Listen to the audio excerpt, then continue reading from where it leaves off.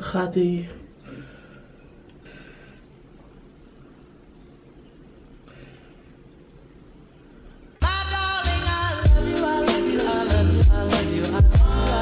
Oké jongens, ik moet jullie wat vertellen.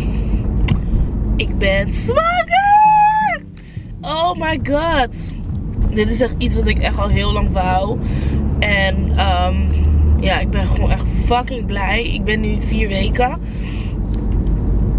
En uh, ja, ik heb dus gisteren een test gedaan, een vroege test. En er stond opeens zwanger. En ik dacht, want ik had twee dagen ervoor had ik die test gedaan, die vroege test, maar het was te vroeg. En toen stond er niet zwanger en ik was helemaal emo.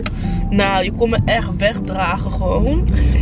En toen dacht ik, weet je wat, ik ga gewoon nog eentje doen. En maar ik was gewoon aan het douchen tussendoor. Ik dacht van ja, ze toch wel niet zwanger staan. En opeens staat er zwanger. Nou, ik ben zo, zo freaking blij. Maar ik geloof het gewoon niet. Ik kan het, ik kan het gewoon niet geloven. Dus ik ben nu onderweg naar de Action. Om even een nieuwe test te halen. Oh mijn god, pinch me! Alleen, uh, ik zie altijd van die leuke video's dat mensen het zeg maar aan een vriend vertellen. Maar ik was gewoon zo blij. Ik heb dat video gewoon gelijk verteld. En ik dacht ook van, ik deel al zoveel met jullie. Dat ene momentje, dat, dat, dat hoeft van mij niet op uh, social media. Dus uh, ja, alleen ik heb mijn ouders nog niet verteld. Niemand niet. Helemaal niemand. Dus ik, uh, ik kan, kan, gewoon twee maanden niks zeggen. En ik, ik wil het gewoon zo graag zeggen. Tegen mijn moeder, tegen mijn broers. Ik wil tegen iedereen zeggen. Vooral tegen mijn schoonmoeder, man. Ik zou wel zo graag oma worden. Maar ik mag het gewoon nog niet zeggen. Oh my god, jongens. Ik ben zo blij. Echt niks kan mij meer uh, maken. Ik heb uh, test gehaald in, de action. Ik heb ook weer tienduizenden andere dingen gehaald. Nou, ik ga straks naar de wc. En dan uh, zal ik jullie even meenemen. Ik ga nu weer, ik ga nu weer naar huis. Maar eerlijk, iedereen heeft dat toch bij de action. Dat je komt voor één ding en dan ga je naar huis met tienduizenden andere dingen. Maar het is gewoon bij de action, het is gewoon, dit is gewoon my therapy. Om gewoon domme dingen te kopen waar ik waarschijnlijk nooit meer naar omkijk. Bijvoorbeeld, ik heb net een, uh, ja dat is wel eigenlijk nodig, een, um, hoe heet het nou? Een uh, vaatwasreiniger. Dan denk ik van, nou, daar kwam ik eigenlijk helemaal niet voor. Maar het is gewoon, ja, ik weet niet. Ik voel me denk ik ook echt een oud mens. Dat ik dat gewoon, dat ik daar gewoon wild van word, weet je. Dat ik nu gewoon helemaal opgewonden word. Om naar de Action te gaan om schoonmaakmiddel bijvoorbeeld te halen. Ik heb ook pantoffels gehaald voor mijn Davio. Nou. Oh, Davino had me trouwens laatst aangesproken. Dat ik zijn naam verkeerd zeg. Na drie jaar, drie en een half jaar dat ik een relatie met heb, dan zeg ik zijn naam verkeerd. Ik zeg dus de hele tijd Davino, dus yo, maar het is Davinio. Maar het zit gewoon zo in mij dat ik zeg Davino, maar het is Davinio. Davinio, Davinio, Davinio.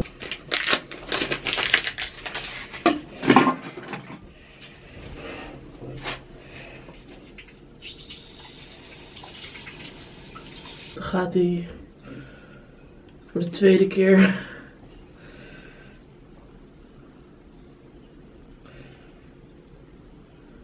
Oh ja, ik ging bijna janken. Maar het streepje is heel licht.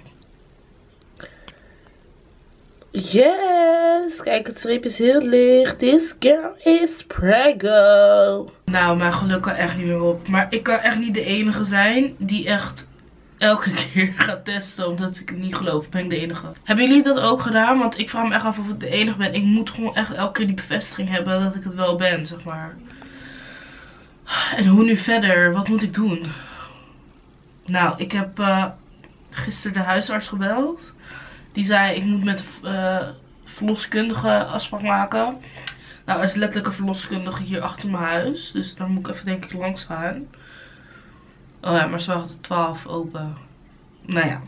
Nou, ik ben al blij dat er twee streepjes op staan. Helemaal happy. Oké jongens, er zijn weer twee dagen voorbij. Um, ik heb het, je gaat het niet geloven.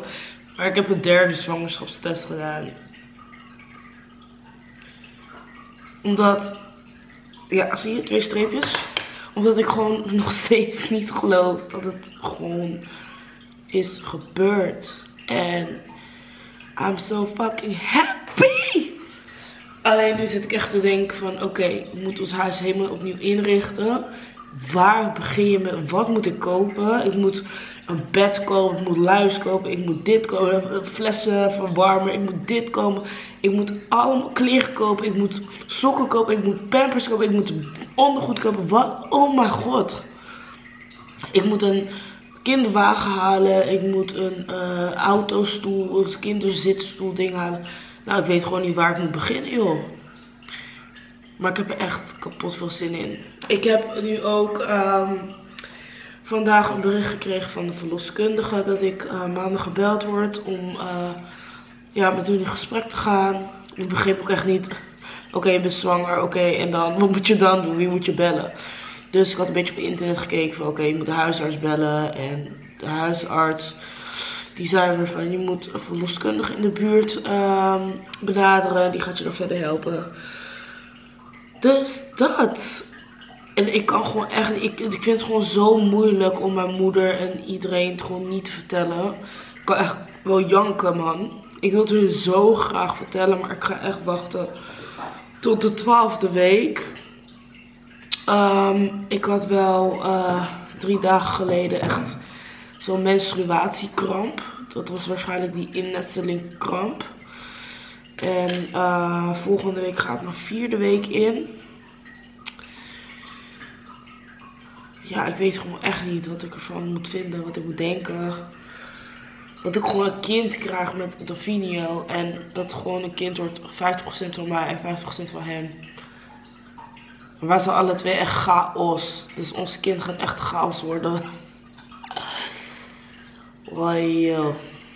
Ja. Davinio is trouwens nu even uit met vrienden.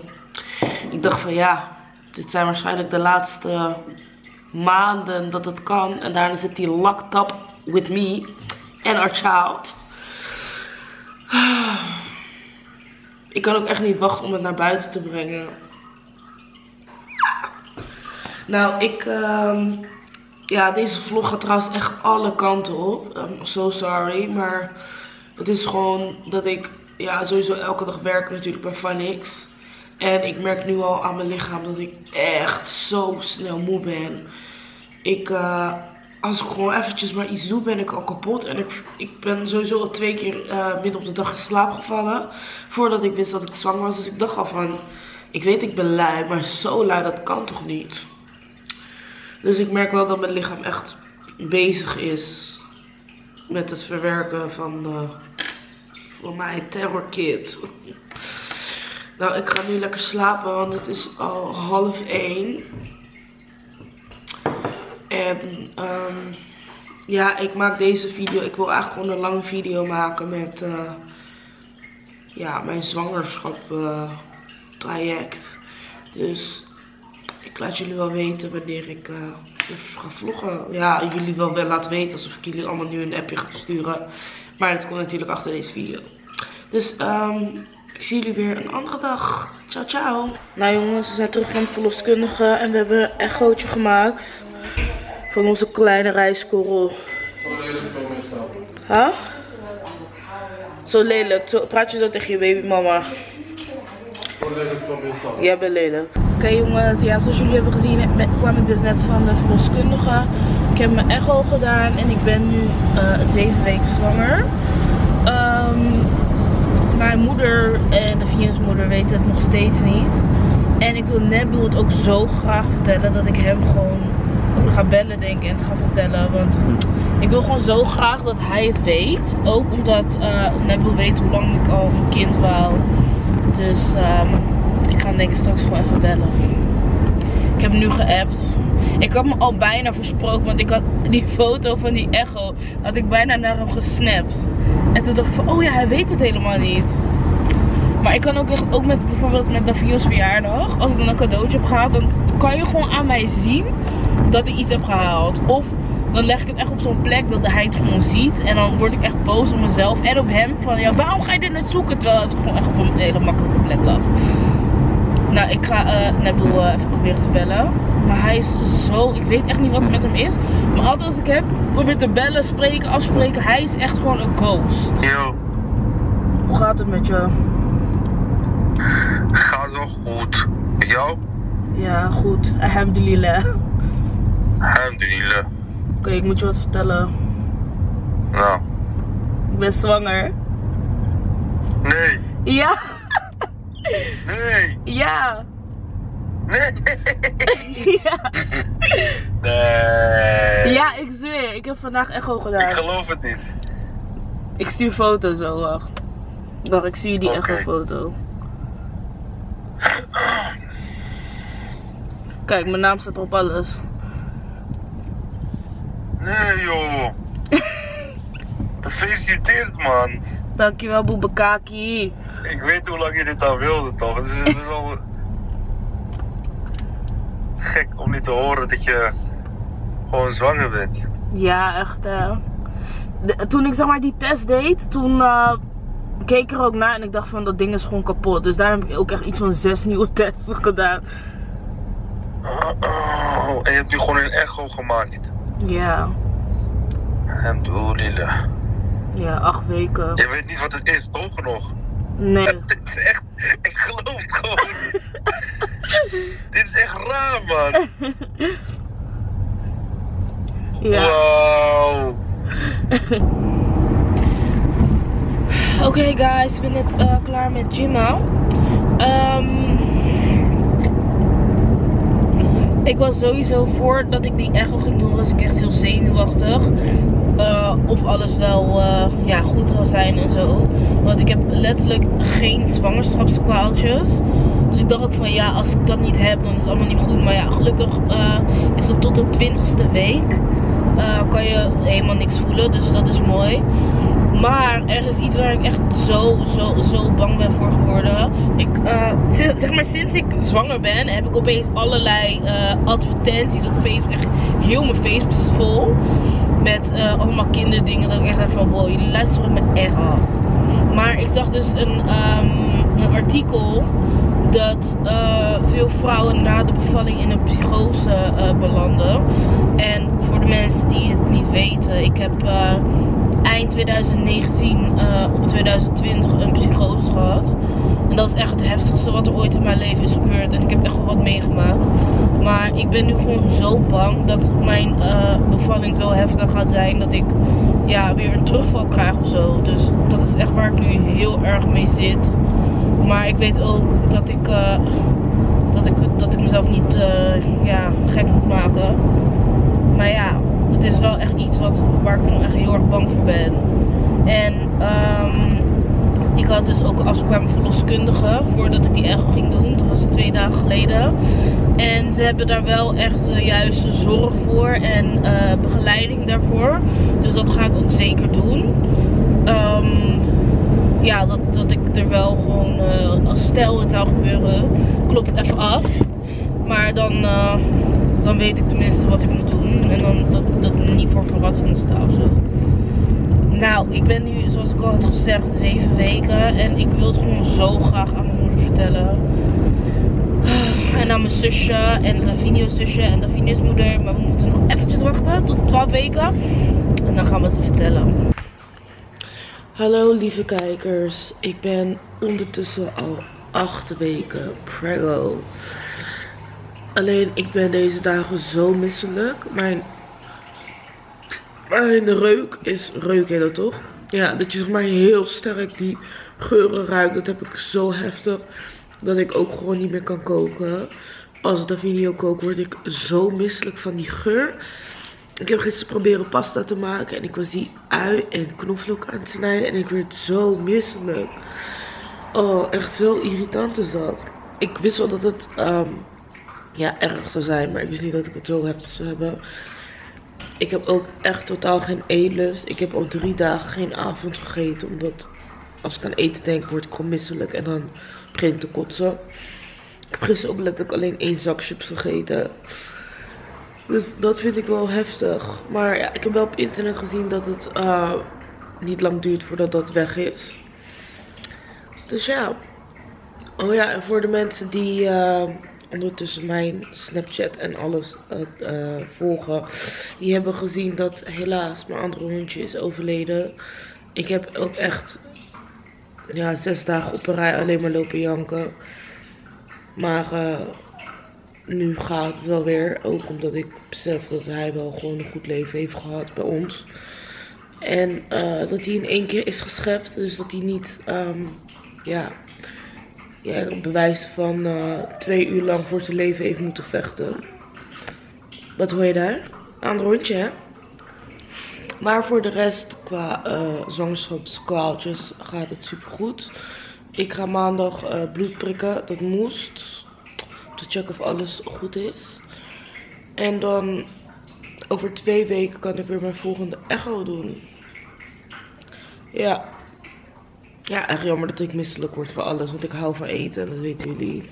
Nou, hallo jongens. Uh, zoals jullie weten word ik echt van alles kapot misselijk. Maar ja, dat is natuurlijk echt niet goed. En ik uh, heb gisteren patat gegeten en daarvoor McDonald's.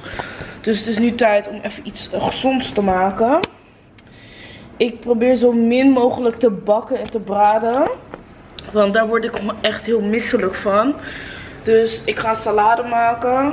En um, ik heb deze groenteschijf gehaald. Uh, ik heb even gekeken naar die Nutri-score. Die is A. Want ik had ook een keertje allerlei vegetarische dingen gehaald om te testen. Maar die Nutri-score was D tot E. Echt, en dat is zo slecht. Dus uh, ja, ik uh, voor gekozen om dit dan te eten met salade en uh, appelgratin. Of hoe heet het? Aardappelgratin. Ik zal jullie straks wel het eindresultaat laten zien. Dus ik ga nu even koken. Peanut, uh, Peanut die zit gewoon letterlijk op de grond om mij te wachten. Totdat ik haar aandacht geef. Ik ben net thuis. Nou, ik ga maar even snel koken. Anders uh, gaat het er nooit voor komen. Nou, dit is mijn avondeten. Oh, als ik die geur ruik, word ik gewoon misselijk. Maar ik moet gewoon echt even doorzetten. Want ik heb echt al ja, zeven dagen niet gegeten. Nou, wish me luck. Nou, ik heb echt letterlijk maar een paar happen genomen. Salade heb ik hem opgegeten. Ik weet niet, dat voelt gewoon minder heftig op mijn buik of zo. Maar ik vind het echt jammer, want ik hou echt van eten. Dus dat ik nu zo weinig kan eten. Ja, misschien is het ook wel beter. Misschien kan ik ook nog wel eens afvallen tijdens mijn zwangerschap. Oh, dat zou echt fijn zijn. Nou, ik ga even mijn hondje maar even uitlaten. We hebben trouwens nog steeds geen tafel en een kleed hier. Dus dat gaan we even... Pine! Dat uh, gaan we dit weekend denk ik even regelen. Want het ziet er echt niet uit zo leeg. We hebben ook bezoek van April, de Vinius zusje. Die is hier zomaar gedropt. Ja. Want de moeder was er ook zat. dus ja, wat gaan we doen? Gaan we even Disney kijken of zo? Ja. Ja, lekker. Ah, jezus. Je wordt ook zwaar, zeg. Ah, wat een liefde. je eet ook alleen maar hamburgers en patat, hè? 500 kilogram. kilogram. Gaan we kijken film? Dat peanut worden. Ik ga even mijn haar losmaken, want het komt echt los van alle kanten. Kijk hier, mijn haar. Vreselijk. Hey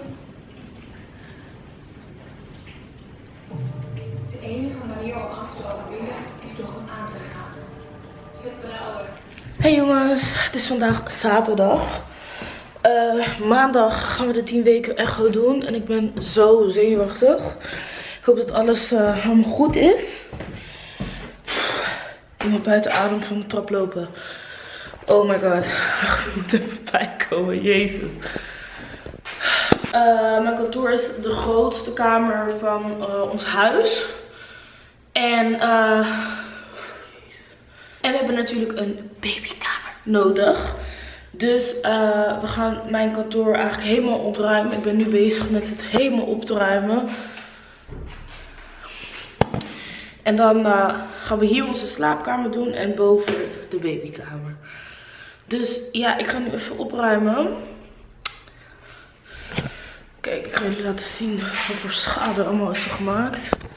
Dit moet ik allemaal straks gaan weggooien, al deze dozen buiten. En nu nog even alles een beetje opruimen en eh, netjes zetten. Qua symptomen zit het nu eigenlijk nog best wel goed. Eh, het enige wat mij wel echt heel erg irriteert is dat ik eh, nog steeds heel erg misselijk word van geur van koken en eten.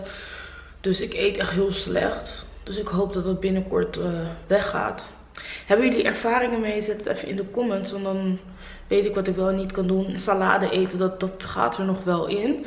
Maar grote maaltijden, ja, krijg ik juist kotsneiging. Omdat ik in mijn hoofd ga denken van oké, ik moet niet eten, ik moet niet eten. En dan ruik ik het en dan word ik gewoon helemaal misselijk. Ja. Ik over twee dagen is dus mijn uh, volgende echo. En ik kijk nu naar die foto van um, drie weken geleden. Nog zo klein. Ik ben echt benieuwd hoe het uh, er maandag uit gaat zien. Echt zo raar. Mijn gedachten zeggen ook nu op dit moment, ik wil naar de McDonald's. Maar mijn buik zegt van, dat ga je echt niet handelen. Je gaat sowieso diarree krijgen. Nou, dit was uh, de eerste vlog. Ik hoop dat jullie het een leuke video vonden. In de tweede vlog uh, neem ik jullie mee naar de 10 weken echo. Dus check sowieso volgende week vrijdag mijn nieuwe vlog. En ik ga elke vrijdag om 6 uur uploaden. Dus zet het in je agenda. En uh, we gaan gewoon weer knallen met vloggen. En ik ga jullie dit keer echt niet teleurstellen. Want nu gaan we echt beginnen. Oké?